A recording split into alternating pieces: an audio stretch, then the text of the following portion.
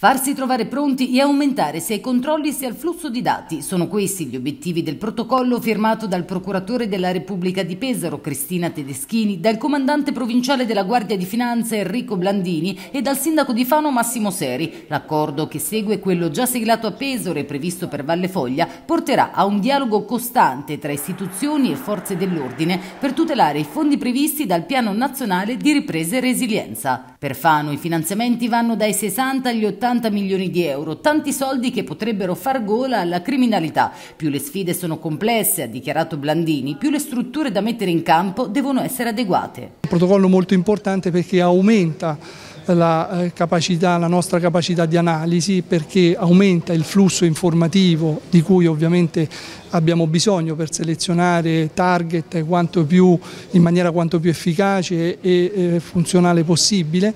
E quindi il fatto che il Comune di Fano ci fornisca le prime indicazioni su magari possibili anomalie ovviamente agevola il nostro, il nostro compito che normalmente noi facciamo sia con l'utilizzo delle nostre banche dati, abbiamo oltre 150 banche dati che eh, vengono messe a sistema da una dorsale informatica e con, quindi con un unico inserimento abbiamo la possibilità di fotografare appunto il nostro target a 360 gradi. Il lavoro dei finanzieri, ha precisato Blandini, si concentra sia sull'atto amministrativo che su quello di polizia giudiziaria. In questo caso i controlli saranno incentrati sulle anomalie dei bilanci delle società, sulle emissioni di fatture false e sull'analisi della filiera degli appalti e subappalti, interventi mirati e più efficaci grazie al patto siglato questa mattina. Dottoressa, uno dei pochi protocolli in cui rientra anche la Procura della Repubblica, tra l'altro ha sottolineato anche il fatto che dialogare con i comuni non è né semplice né banale. No, è né semplice né banale, ho maturato la convinzione di avere degli interlocutori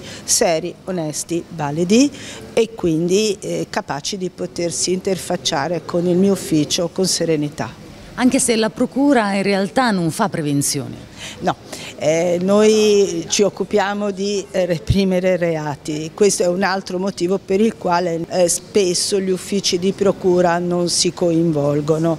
Eh, io sono profondamente convinta invece eh, che in realtà eh, punire i reati è una mezza sconfitta per, per, le istituzioni perché è molto meglio per tutti che i reati non vengano proprio commessi e quindi eh, penso che il coinvolgimento del mio ufficio come presidio di legalità eh, nell'ambito di questa, di questa azione sia assolutamente opportuno e utile. Non un dispendio di energie ma un buon impiego delle nostre risorse. Infatti il pericolo è dietro l'angolo, ha commentato il sindaco Seri che ha evidenziato la trasparenza e la massima attenzione rivolta al settore della spesa pubblica. In questo caso quando si gestiscono tantissimi soldi è importante tutelarsi, è importante importante prevenire per evitare che poi accadano eh, illeciti o accadano eh, disastri. Troppo spesso questo è un paese che rincorre le emergenze invece di prevenire. Ecco, il protocollo di oggi vuole prevenire, vuole fare un lavoro di collaborazione nell'interesse della cosa pubblica.